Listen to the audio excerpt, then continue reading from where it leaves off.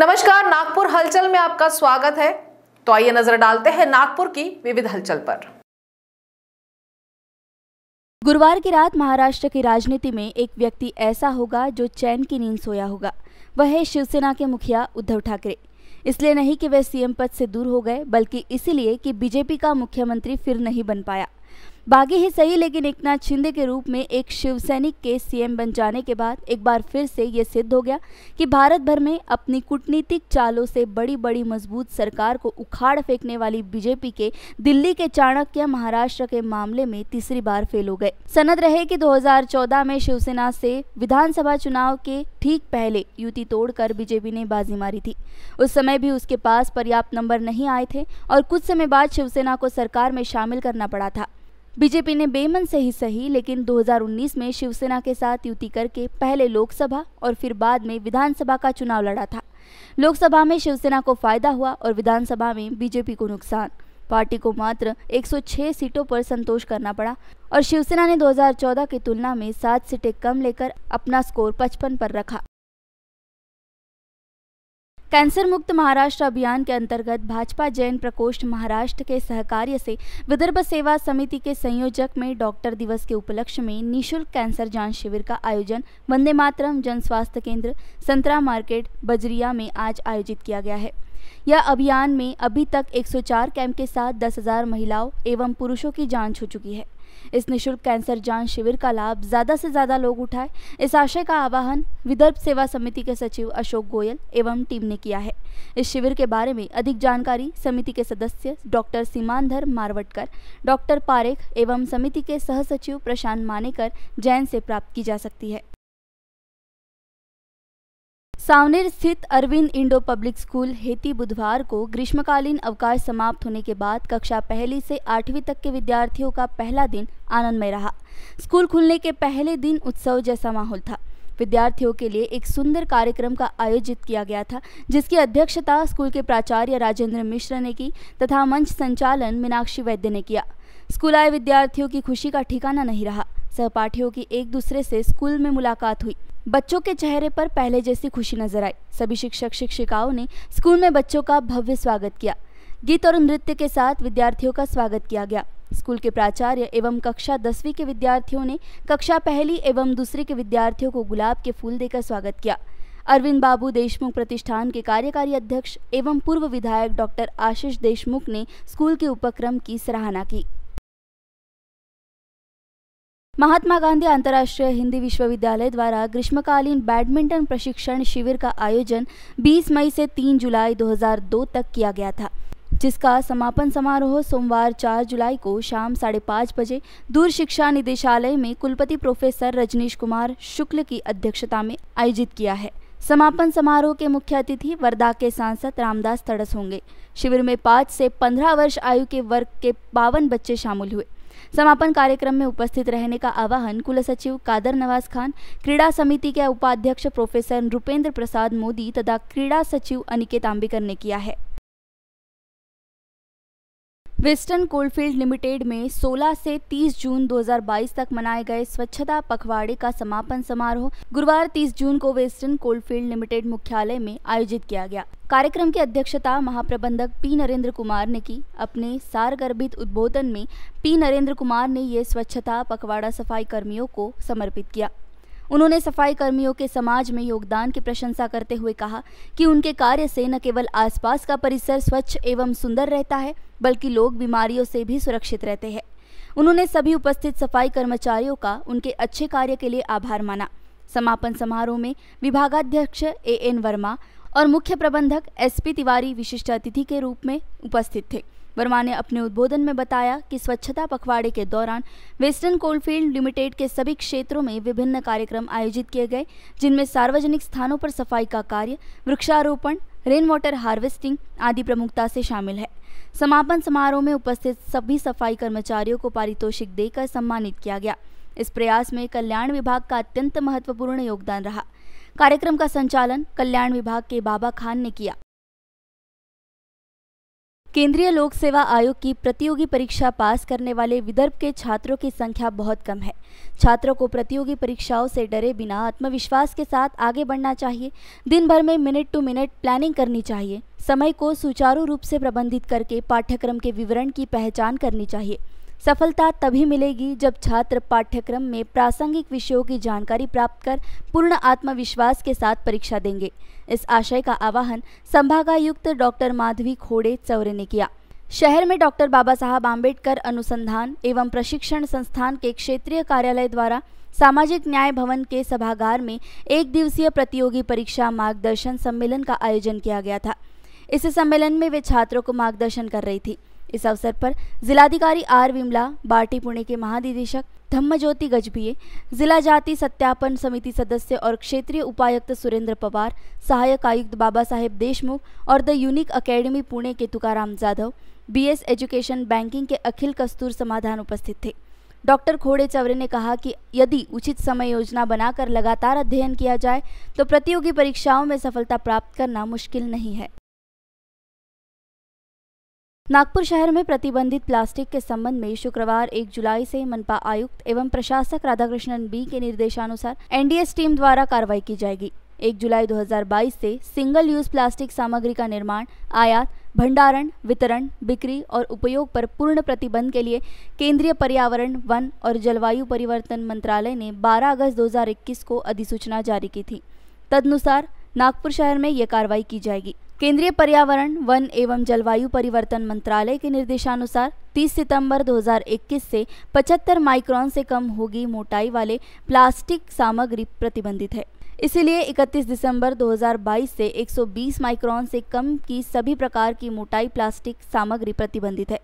सजावट के लिए प्लास्टिक और पॉलिस्टाइनिन, मिठाई का डब्बा आमंत्रण पत्रिका, प्लास्टिक की छड़ियों के साथ, ईयरप्लग, गुब्बारा प्लास्टिक की छड़े प्लास्टिक के झंडे, आइसक्रीम की छड़े, प्लेट्स, कप, चमचा, कटलरी, चाकू, पीवीसी बैनर 100 माइक्रोन से कम, अपशिष्ट और नर्सरी बैग को छोड़कर सभी प्रकार के प्लास्टिक बैग, पात्र आदि पर प्रतिबंध लगा दिया गया है। उपरोक्त सभी प्रकार के प्लास्टिक का उपयोग पर्यावरण के लिए अत्यंत हानिकारक है और उपयोगकर्ताओं पर जुर्माना लगाया जाएगा। केंद्र और राज्य सरकार की ऋण योजनाओं को ठीक से लागू करें। नागरिकों को अक्सर परेशानी होती है, क्योंकि बैंकों को दिए गए लक्ष्य की पूर्ति नहीं हो पा रही है।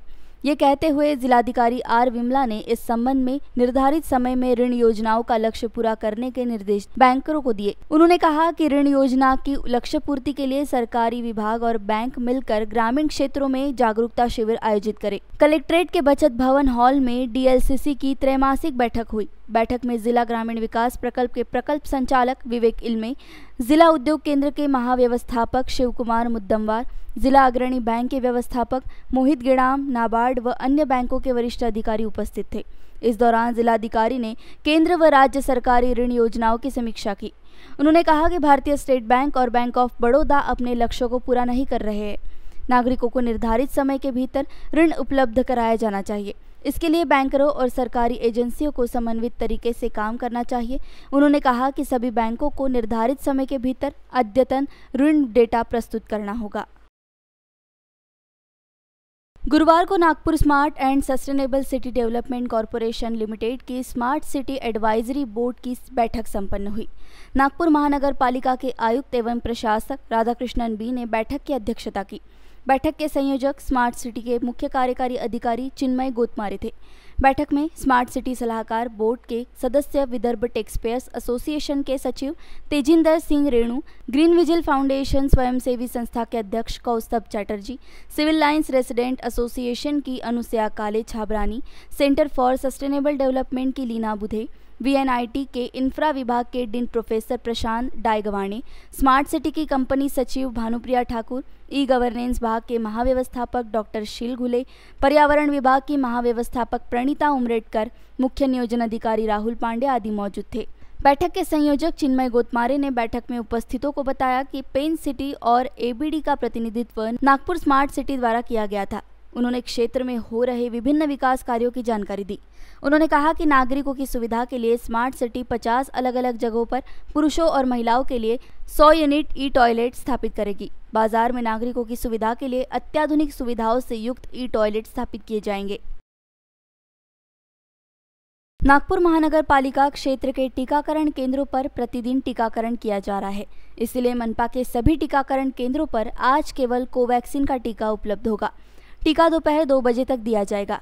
टीकाकरण के लिए पंजीकरण ऑनलाइन और ऑफलाइन दोनों पद्धतियों से किया जा सकता है।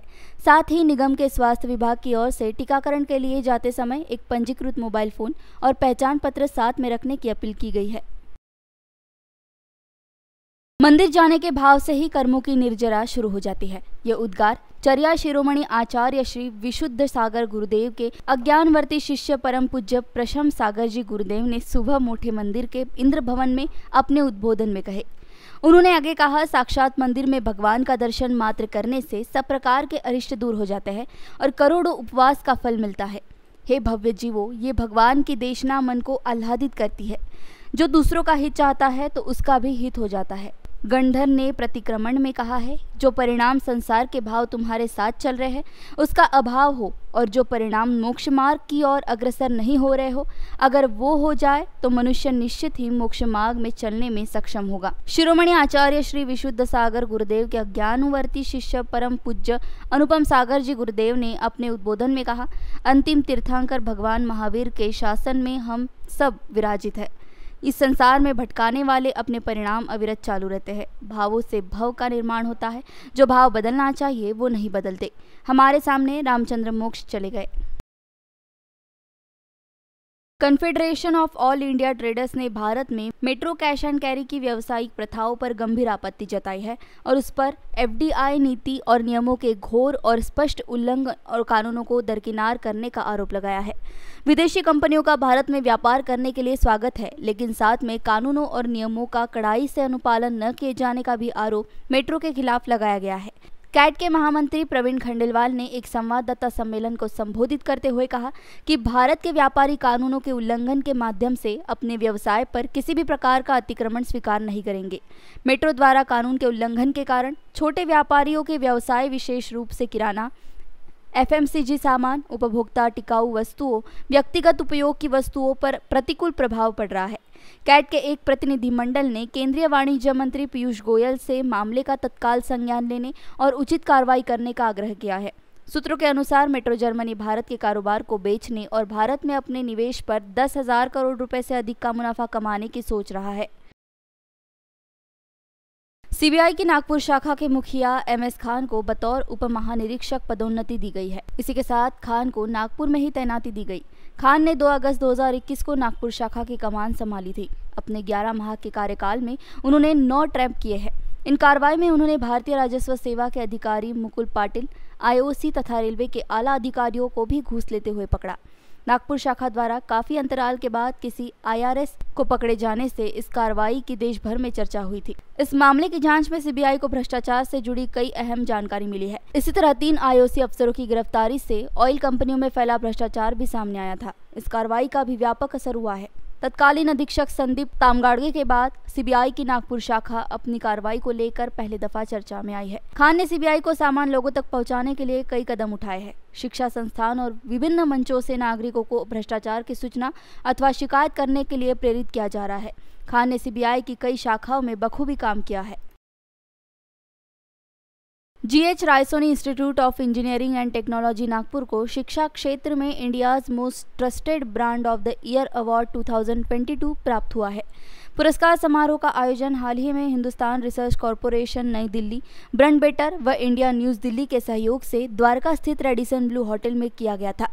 G H Raisoni institute of engineering and technology Nagpur को ये पुरस्कार विदर्भ के निजी शैक्षणिक संस्थानों की श्रेणी में अपनी अनुसंधान गतिविधियों की योजनाएँ, कार्यान्वयन तथा उम्दा संचालन के लिए प्रदान किया गया है।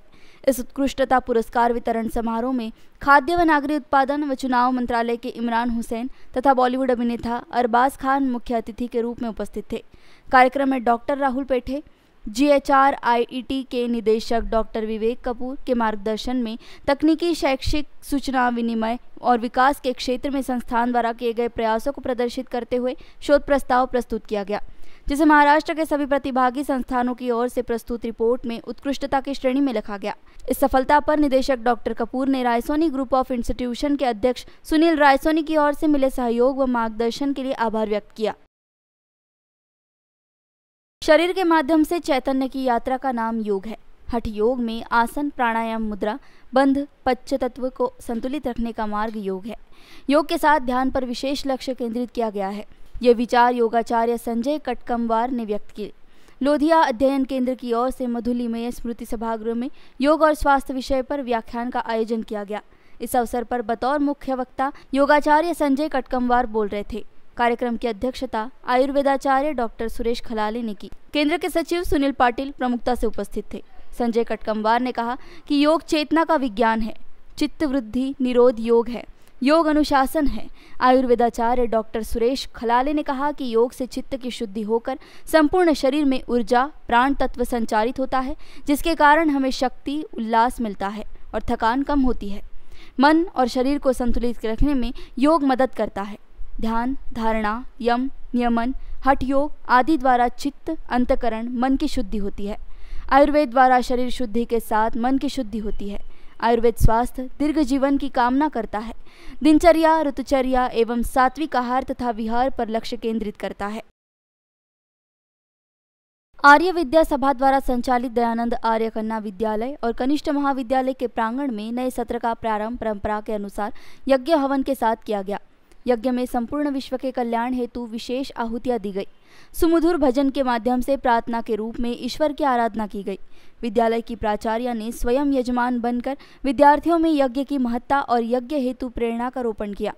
उन्होंने विद्यार्थियों को संबोधित करते हुए कहा कि शिक्षा का उद्देश्य हर उस विद्यार्थी तक साक्षरता पहुंचाना है, जो कि केवल सुविधा न होने के कारण घरों में बिना पढ़े बैठे हुए हैं। परिस्थितियों को स्वयं पर हावी ना होने दे, एवं अपना एक कदम आगे बढ़ाए ईश्वर आपको दस कदम आगे बढ़ाकर मंजिल तक अवश्य पहुंचाएगा।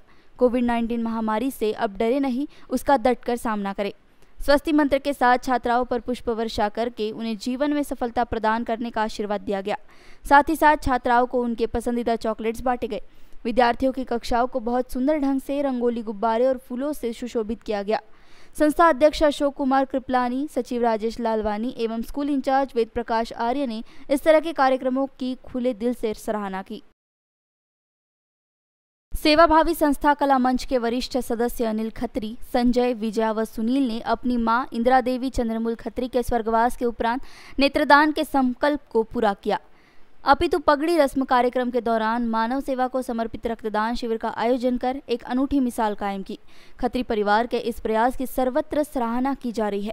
अशोकनगर स्थित गुरु नानक भवन में संपन्न इस कार्यक्रम में कला मंच के संयोजक नरेंद्र सतीजा ने विशेष स्मृति चिन्ह प्रदान कर खत्री परिवार का अभिवादन किया। शिविर में सहभागी जीएसके ब्लड सेंटर के medical director doctor Ashish Khandewal ने कहा कि रक्तदान शिविर का ऐसा आयोजन हमारे लिए भी अनूठा रहा। ज़रूरी ये है कि लोग ऐसे आयोजन से प्रेरणा लें और मानव सेवा के काम में हाथ बटाएँ।